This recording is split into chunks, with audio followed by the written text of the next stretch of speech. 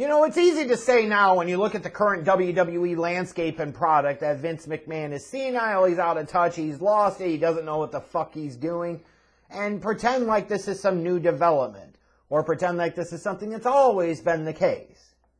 But the reality is, is this is not the first time that Vince has been out of touch. This is not the first time that it was clear that Vince didn't know what the hell he was doing, and his company as a byproduct didn't know what the hell they were doing. Yeah, recently in particular, it's been bad over a number of years. It really has been. Um, but when you look back at the early 90s, more so like that time frame of, let's say, 93 to 95, maybe early 96, I guess it's pretty much every bit as bad as what you got now. Really, really bad. And one thing I always dread about going back and watching some of these old WWF shows from that era of 93 to early mid 96 is I know there are a lot of clunkers and stinkers in there. And traditionally, one of those ones that's thought of as one of the biggest stinkers of all time for this company was King of the Ring 1995. And then let's get it clear here. This shit sucked. The booking was bad. The matches were bad. The decisions made within the booking were god awful and atrocious. All you have to do is look at the King of the Ring winner. But even that in and of itself just doesn't speak to just how bad this truly was. You could look at Vince McMahon and frickin' Doc Hendrix. You took Michael P.S. Hayes of the Freebirds and made him an 80s parody of himself, called him Doc fucking Hendrix. Like, that just speaks to 1995 WWF and just how bad this shit was and just how truly out of touch Vince was. Maybe he's just happy to be out of fucking harm's way in terms of the federal steroid trial and not taking on any prison time for himself. I don't know what the hell it was. But when you think about dark periods of wrestling, and you can think about this period as a dark period in wrestling, specifically WWE, you also go back to this time frame and you say this was a company that was lost, that was rudderless, that did not know what the fuck they were doing, and you could point to King of the Ring 1995 and clearly see that to be true. The one thing I would say though is that the way sometimes this show has been talked about is one of the worst ever. It sucked and it was bad. But I feel like over the years you've seen so many other worse shows that this probably doesn't scratch the top 10, top 15, top 20. Hell, I'd probably even say top 40 or 50 of worst WWF slash E pay per views of all time. Does it? I mean, if you really think about it, there are notable things that make it really bad, yes. But Christ, just in the past few years alone, how many really shitty bad pay per views this company has put on that you can point to and say that's worse than King of the Ring 1995, let alone throughout all of their history. So it was a bad show and it sucked, and you should never ever fucking watch this. Because there's not even a lot of comedic value there. Like, at least sometimes with really bad, shitty shows and train wrecks, there's a comedic value, a train wreck appeal.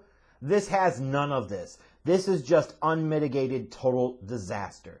Like, like to express to you just how stupid this shit was. Think about this. In the lead up to this, they eliminated Lex Luger, who they invested a shit ton in in the past year plus, almost two years. He wasn't even there for the finale.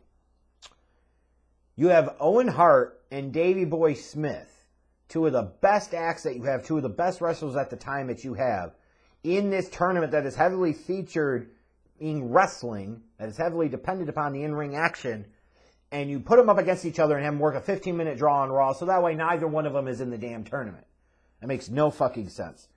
Meanwhile, you've got a guy who clearly at this point in time in mid 1995, you've made the babyface turn with Shawn Michaels, and it's clear he's over like a million bucks relative to the time it is clear that he's arguably the hottest act that you have.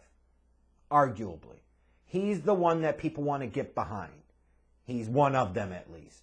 He's one of those dudes that you're going to sit there and you're saying, hey, we're putting him in a position. We're going to go with Shawn. We're going to build towards Mania with him, and he's going to be the guy going forward. And you have him work a 15 minute time limit draw with Kama. So you take one of the great in-ring performers of your company at that time and of all times, and you put him in a 15-minute draw against Kama. So he's out after the quarterfinal round. The guy that had just won the Royal Rumble a few months ago, you didn't even have a win win a fucking King of the Ring match. You had him work a draw with Kama. Really? And then you get onto this situation where you get this big kick all of a sudden with Savio fucking Vega, who had just come into the fold, and you're like, Razor's not there, but this is Razor's buddy, and we're gonna put, like all this other shit. Like you tried to make Savio Vega into this big freaking underdog. You tried to make him the dude that everybody's gonna get behind. And once you get past the surprise, surprise, racist type shit that Michael P.S. Hayes was saying, talking about him and South Brooklyn and fucking stealing hubcaps, and where the hell did that shit come from? But you freaking have Savio Vega take Razor Ramon's place. You put him over Yokozuna due to countout. You have him beat the roadie. Like, that was one of your semifinals for King of the Ring, 1995, with Savio Vega versus the roadie. And then you have Savio Vega win and go on to the finals. God damn. You talk about bad, questionable, stupid decisions. What the fuck were they thinking? And then you talk about what I said about Shawn Michaels, which was true. Obviously, the other guy that was massively over was The Undertaker. Even after a few years of toiling away in mid card hell with some of the shittiest feuds you would ever want to put on a great talent and a great character, he still somehow has overcome that, persevered that, survived, is thriving. And you job him out to fucking Mabel in the quarterfinals of the King of the Ring. Like, could you imagine the stupidity of putting together the draw here? And you say, yeah, we want Mabel to go out and beat Undertaker. And then we're going to give him a bye, which is probably because Mabel didn't know what the fuck he was doing. He didn't have the endurance to work three matches, so he had to create a gap so that way, just unfucking believable here.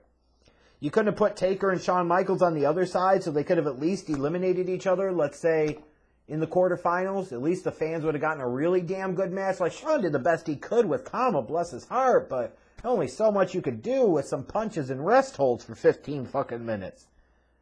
I mean, good lord, that just speaks a little bit to the stupidity of this show. Like, you have Savio Vega go on this run. He beats Irwin R. Schyster on the Coliseum home video version to be kind of the wrestling match, and he comes right back out. He beats Yokozuna. Then later on, he beats the roadie, so that way he can get squashed by Mabel. Oh, man. Yeah, this show is bad. This is really, really bad some for some reason like you talk about King of the Ring and who's Mr. King of the Ring. Well, in the early years, it was Jerry the King Lawler, not in a good way. Because every year he was involved in some type of stupid shit, some type of stupid angle, some type of shitty, stupid fucking match. And it does beg the question when you go back and think about it. Like, especially if you didn't grow up watching Memphis wrestling. Was Jerry the King Lawler actually ever any good in the ring? Or was he all about character and heat back in the Memphis days? Because even when you watch him here, like his matches sucked. They sucked. And this shit certainly wasn't any fucking different. Here comes fucking Hakushi. Oh, Christ almighty. The kiss my foot match. Like what? Oh my. Like this is what you were doing with Bret Hart. This is one of your biggest stars of the company. You just gotta give Lawler a fucking king of the ring spot, don't you? I understand you probably had a dearth of top heels that could get some heat here. But this really the fucking direction you wanted to go? And it was so bad. It was so bad. This just show was so bad. You also got to remember this show is notable for something else. When you get to the Mabel versus Savio Vega King of the Ring final match, you had Hat Guy and you had Vlad the fan all those guys there started chanting ECW, ECW during this match because this was bullshit and everybody fucking knew it there in Philly. To the point Vince is like, hey, what is that? And I mean, the fans let him have it. ECW, ECW. And, you know, it was a notable moment in history. You know, we point back to that as the thing of like, it really opened Vince's eyes to the potential of like, hey, there's another company here in Philadelphia you need to start paying attention to. There's another company that's evoking these types of emotions out of fans. Like this type of shit did not happen. Fans didn't go to WWF shows in that day and start chanting for WCW or other companies. But here in Philly in 95, they sure as fuck did chant ECW because this shit was horseshit. Like it was so bad, your main event of a King of the Ring, at a time where you didn't run a shit ton of pay-per-views, your main event at the time, just think about this. You were just starting the In Your House concept. Your main event of this pay-per-view was a tag match featuring Bam Bam and Diesel, who was your champ at the time, beating Psycho Sid and Tatanka, who were part of Money Inc. That was your main event. Sometimes you point to Diesel, you talk about Kevin Nash, now he didn't draw as a champion. When you talk about taking a guy and chopping his fucking legs out from under him and chopping his balls off, you wonder why a guy can't fucking draw. You look at matches like this and say, what the fuck are you doing? Imagine how much better this would be is if you would have went with Diesel versus Bam Bam one on one for the title. Or Diesel versus Psycho Sid for God's sakes for the title. Either of those would be much more appealing and more interesting options than what the hell we actually got here. I mean, this was so bad. So, so bad. So Razor Ramon didn't work at all. Shawn Michaels was eliminated in a 15 minute time draw with Kama. Just think about this. I'm talking about some of the notable people in this company at this time, some of the standard bearers, some of the really good talent, top talent that you had. Razor Ramon didn't work the goddamn show. Owen and Davey weren't there because they were eliminated early on in the fucking process. Bret Hart was wasting his time in another shitty stipulation match with frickin' Jerry the King Lawler. Shawn Michaels is wrestling a 15 minute draw with Kama, so he's eliminated in the quarterfinals a few months after he had won the Royal Rumble when you would think the fans are really getting behind him, so you want to build him out. No, no, we want to build up fucking Mabel, we want to have a black Yokozuna. Undertaker. You'd think, hey, maybe the fans are ready for him because they're really behind him. No, no, no, we got to job him out to the black Yokozuna. You got Yoko sitting there jobbing out to Savio Vega. It just, you got Diesel working a tag match as the champion in the main event. Just everything about this sucked. And still, I would strongly dispute that this is one of the 10 or 15 or whatever worst WWF pay per views of all time. Oh, it was bad. It sucked. And there's absolutely no redeeming qualities about it. Not one of these matches is good. Every single booking decision will piss you off. Like, just everything about it was so goddamn bad. The only thing notable about it is the ECW chance. And when Mabel won his King of the Ring, people were throwing shit at him because they fucking hated it because they knew it was trash.